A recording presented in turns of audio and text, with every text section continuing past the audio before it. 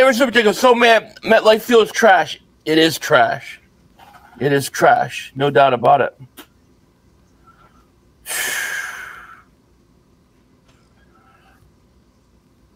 It looked bad. He was he was definitely on the ground in pain, grimacing.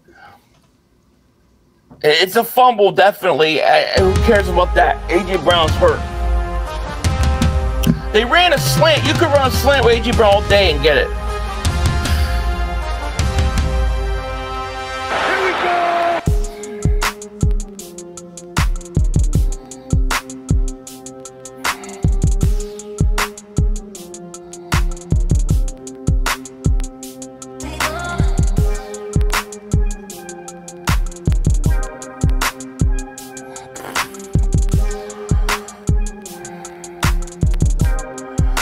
David Super goes pull starters. Cowboys going to win.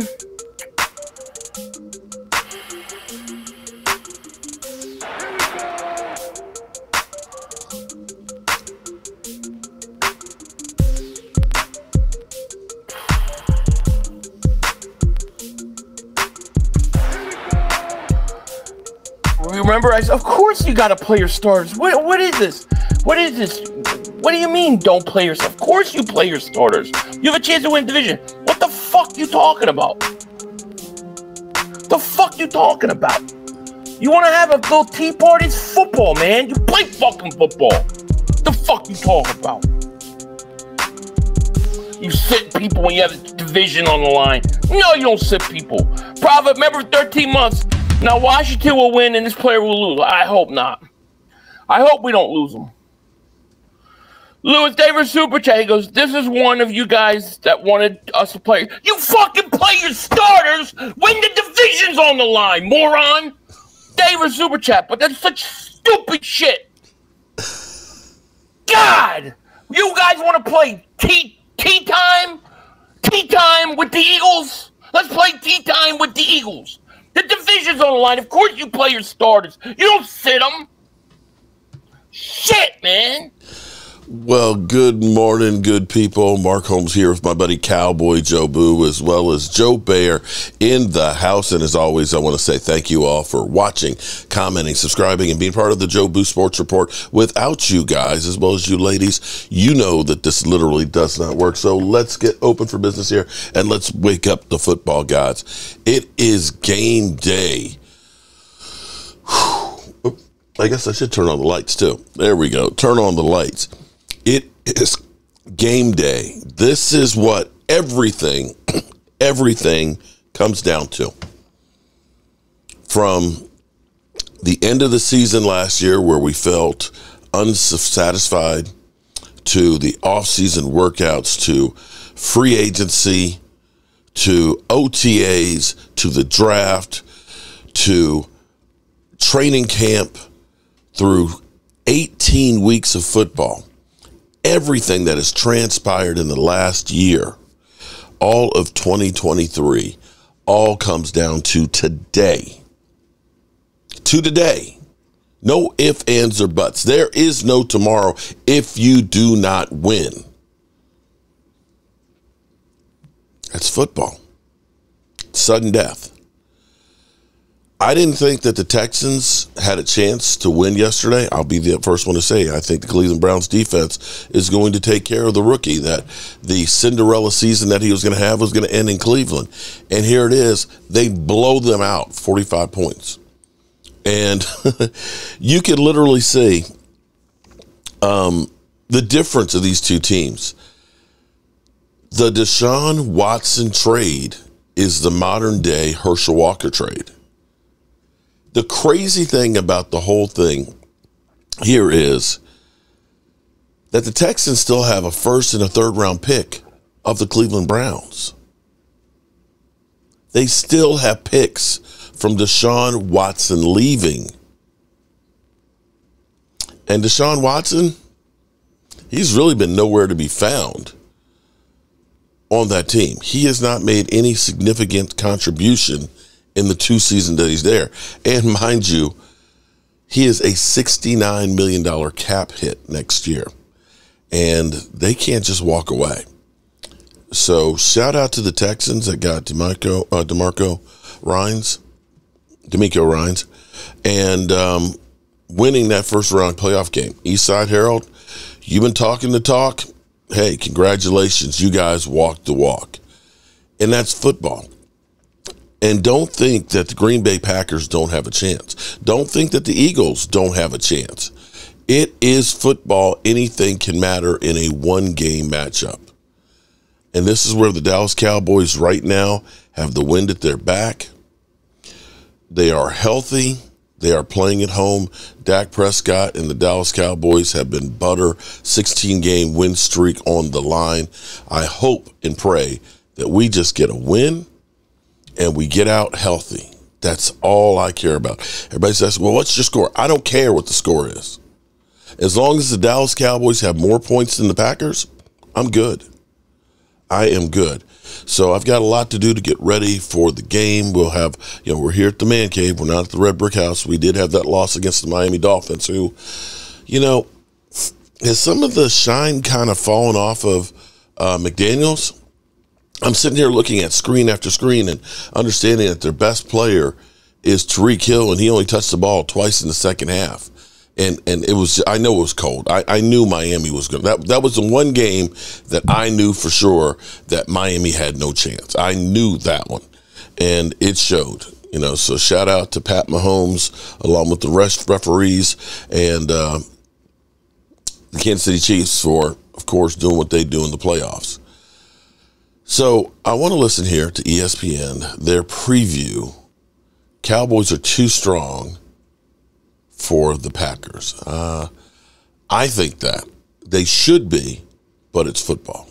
Regular season at 12 and 5, but let's face it, none of it matters if this doesn't go well. You're right about Cowboys that. Cowboys are trying to reach the NFC Championship game for the first time since 1995.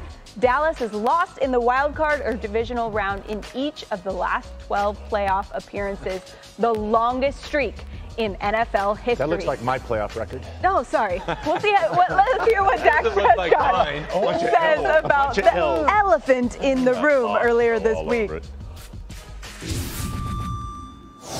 Starts over taking care of this one, and, and that, that that's we can talk about the opportunity, this and that, but opportunities right now, it's this game, and then and I'd be getting ahead of myself if, it, if I didn't say it was today and the rest of these meetings and, and our approach. When we get there, you know, Sunday afternoon, we're gonna, you know, we're going to kick it off, cross the white lines, and go get it. So, and that's really where we are.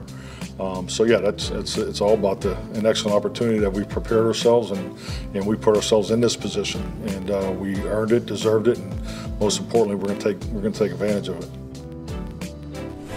Randy, it's kind of crazy that the mm-hmm. expectations for the Cowboys are such that you can go 12 and 5 and everyone's like, yeah, yeah, yeah. Anyway, what are you going to do this weekend? How would you describe what pressure is on Dak Prescott and the Cowboys tomorrow?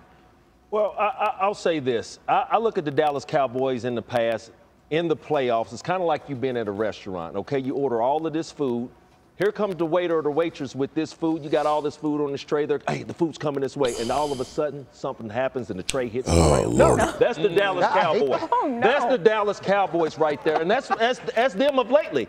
And if there's any team, Sam, this this postseason, this weekend, that there's uh, the pressure that the pressure's on, it has to be the Dallas Cowboys. We just sit up here and talked about Bill Belichick trying to uh, fill some vacancies, yeah. but really, in all honesty, Dak Prescott, Jordan Love. That's what this game comes down mm-hmm. to. And there you if go. there's anybody that stands out to me, it has to be Jordan Love. Why all the injuries that the Green Bay Packers offensively has had, but in the last five games, the reason why I'm so high on a guy like Jordan Love because in the last five games, he's had five different receivers to lead their team in receiving yards. All this talk about Christian Watson. Uh, Aaron Jones has been hobbled. This man has met all expectations for the franchise and all the naysayers. So going into Dallas and winning the game with Mike McCarthy and everything on the line, I think there's more pressure on the Dallas Cowboys, Sam. But I love what Jordan Love brings to the table. It's a big game against the yeah, the Randy, I, I, think Jordan Love's exceeded uh, all those expectations, certainly. And, and he did for me because I, I, I you were hard on him early, Rick. No, yeah. I had questions because he wasn't. He was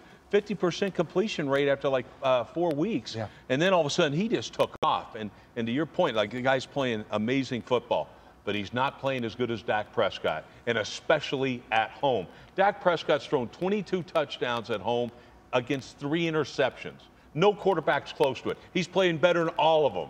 Anybody in the National Football League, he plays better than, than they all do at home.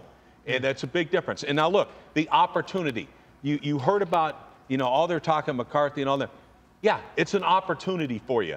All right, I disagree. I don't think you deserve the number two seed because clearly I, I think uh, we know who should should be in that two spot. But you've been given a gift, so right now you've got to take advantage of it. And if you don't get it done, then when are you going to get it done? It's set up for you so bad. Like right now, it's set up for you. Your roster's probably the best in the National Football League from top to bottom. It's your time to win it. I will double down on it. I think this is a year for Dallas. Real quick, Wow. you have been uh, very hard on Jordan Love, and you said between him and Dak Prescott, you talk about the 20-some touchdowns that Dak Prescott had. Y'all said last night when it comes to talking to Kansas City Chiefs, it's anybody but who? Travis, right? Travis, yeah. Okay, in the Dallas Cowboys offense, anybody but who? CeeDee Lamb. Okay, then. So to my point, if it's not CeeDee Lamb, where does that go? We they've had some problems, some up and down offensively for the Dallas Cowboys. But when I talk about Jordan Love going on the road, going at home, delivering this ball, he's had a lot of injuries, uh, Rex. Yeah. So to your point, Dak Prescott has had a phenomenal year behind Mike McCarthy, but Jordan Love has met all the expectations. No, he has. Absolutely. I don't disagree. But Ferguson, Brandin Cooks, you know, all those type of weapons right there. I think Tony I mean, Pollard. I, I just think it's set up so well for Dallas. Listen, I, I know Dallas is 16 and 0 at home, and they're the two seed now, and, and I do think they have a great path, uh, certainly to the NFC Championship game. I, when I started watching film on this, like I, I more and more, I, I'm starting to grow and think that Green Bay has a chance. Like the, they have listen. The recipe to beat Dallas, and, it, and it's been this all year, is to run the football. Right? We saw it in Buffalo. James Cook went off. Uh, they lost to the, the Niners. They lost to the Cardinals, all with good running games. Maybe the hottest back in football right now is Aaron Jones. Okay, Alex. He's You gotta stop the three Okay. right? Last week they went up against a good Bears defense. They didn't punt. Right. The Bears had six offensive possessions in that football game. And I know this Dallas offense is a juggernaut. They may be standing on the sideline for a good portion of this game. This Dallas defense is, is built to rush the passer. They're tiny at linebacker. They got a linebacker that I, I want to interject for a second here because they are going. th- th- This is at least my argument. Okay, Chicago Bears defense is 19th in scoring defense. 19th. Okay, giving up 22.3 points a game. And I will go through and as we look at the teams, I think well Minnesota um, of, the last five games that they tout that, that they've done great against. Minnesota's one of them. They are 13th, which is the best defense they've faced in this stretch where they're talking about Jordan Love and all his TD passes, 21.3 points a game. But you also have to look at the Giants, who are 26 in defense at 23.9 is one of them.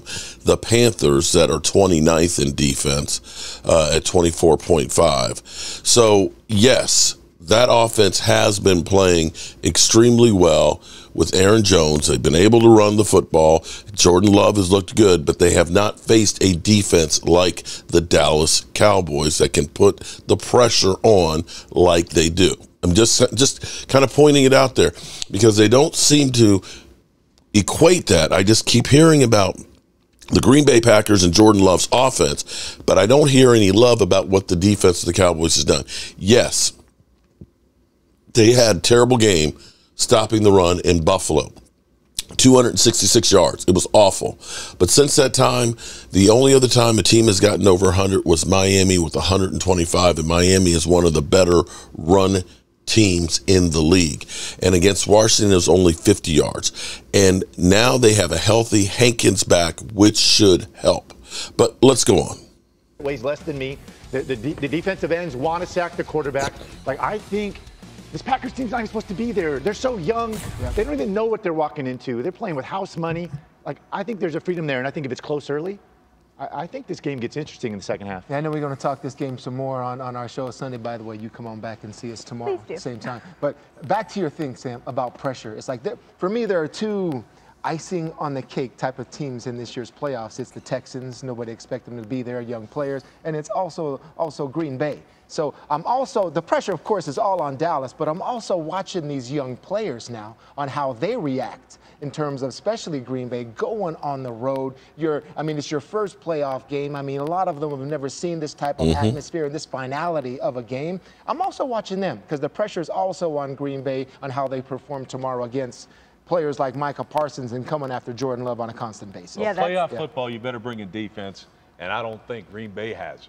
Well, We'll see. They, talk they've tomorrow. got the youth, that's for sure. The youngest team to make the playoffs since 1977. Real quick for you, Rex. If Mike McCarthy loses to the Packers, a team that he has yet to beat since he was the coach there, he lost to him last year.